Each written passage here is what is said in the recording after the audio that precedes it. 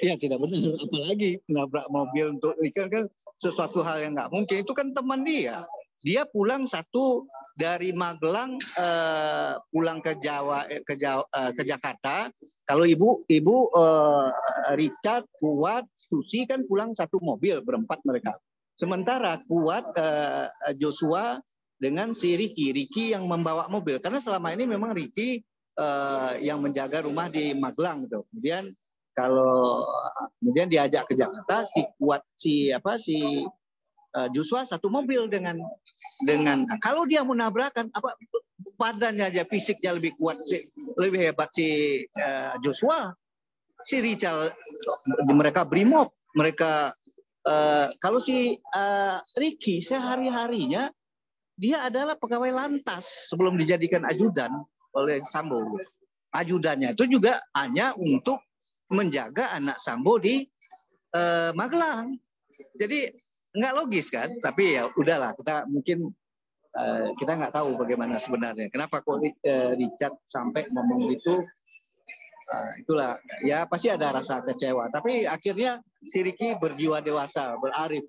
Ya mungkin si beban dari apa Richard uh, merasa bagaimana gitu kan merasa bersalah merasa kejadian Joshua.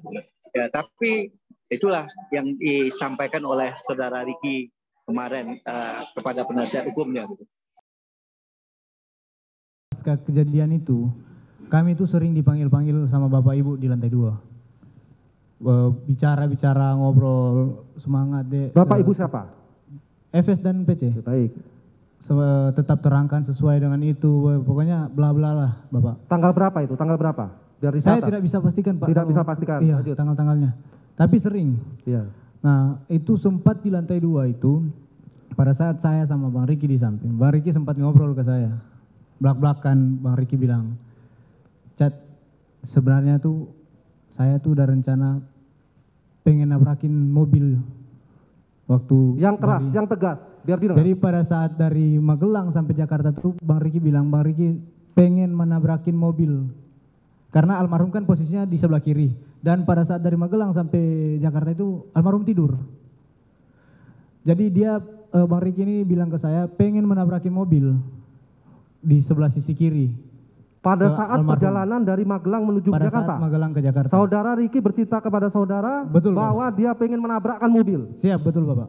Diarahkan kepada Yosua. Siap, betul Bapak. Saudara tidak tanya waktu itu. Apa alasan pada saat itu? Saya berpikir Bapak. Berpikir? Apa saya, saudara Dalam pikiran saya, loh ini berarti sudah dari Magelang ini. Ini berarti sudah saudara Bapak. Bisa saudara pertanggungjawabkan keterangan saudara ini? Bisa Bapak. Saudara disumpah? Saya disumpah. Cukup mungkin ada teman-teman yang lain lanjutkan. Terima kasih Bapak.